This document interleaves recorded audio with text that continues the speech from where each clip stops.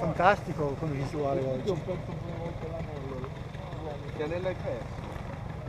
Quello della corsa